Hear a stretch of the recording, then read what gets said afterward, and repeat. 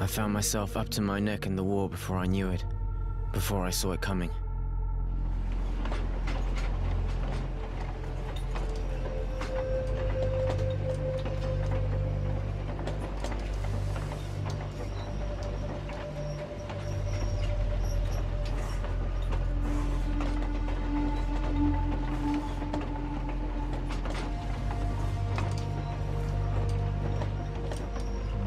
Was never much for politics. The rivalries between the water guilds was something that didn't concern me. I was a teenager, and I had my own set of problems. Thinking back, I was a pretty carefree kid living a good life. My friends and I got together to talk and do nothing most every night. And then one morning, the soldiers came to take me away, me and a lot of other guys from the neighborhood, to defend the guild.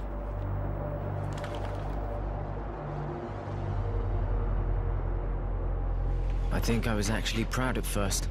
They gave me a uniform and a gun.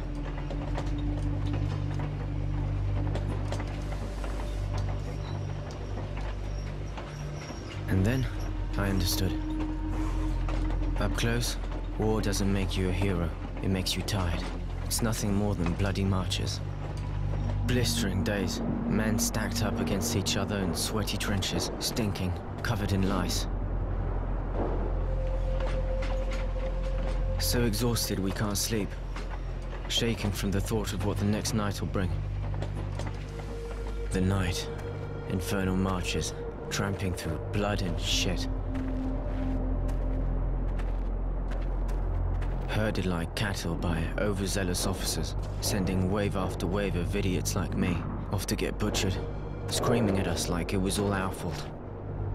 Stupid kids who shit themselves at the first sight of a blade and cried like babies when ordered back to the front.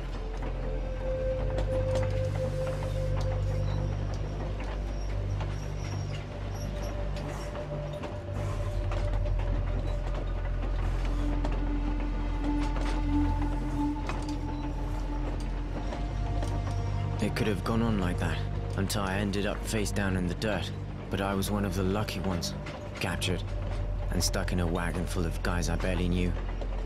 They rounded us up and tossed us in a cattle car, packed in like mutants, and sent us far away behind enemy lines. I don't know if it's night or day. I completely lost track of time.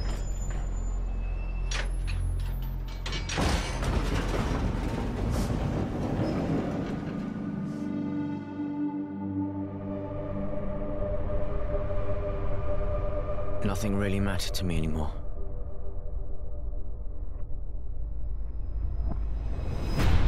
You are now in Camp 19. If you watch your step, we will get along just fine. Prisoners to Camp 19.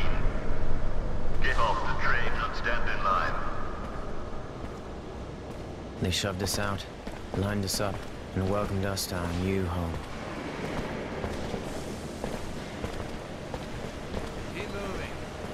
You're about to meet the sandpit. I want every one of you clean within the hour.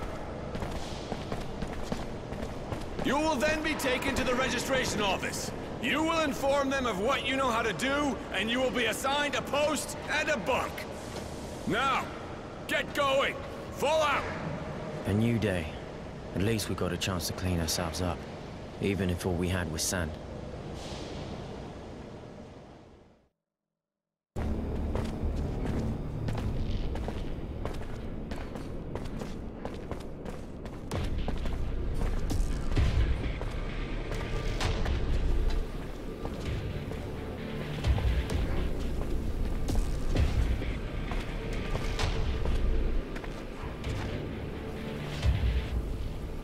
A load of this, fellas. Fresh meat. Uh, this just makes my day. I was getting tired of drilling the same old asses. Hey, you're not bad looking either. Get out. Yeah,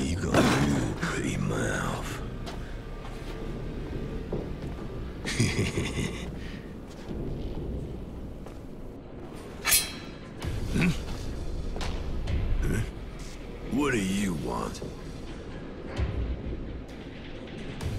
Cat got your tongue. What are you, special? Is that it? Huh? You a nutcase? Maybe you get off watching. Go take a seat. After all, this is the only entertainment you'll get in here. Isn't that right, guys?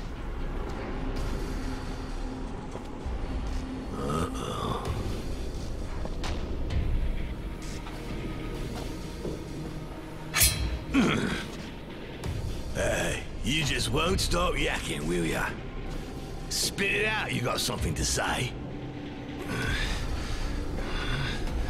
What's that? Speak up.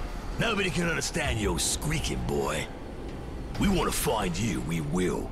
This place ain't big enough to hide from us. You crazy. You need to be put down.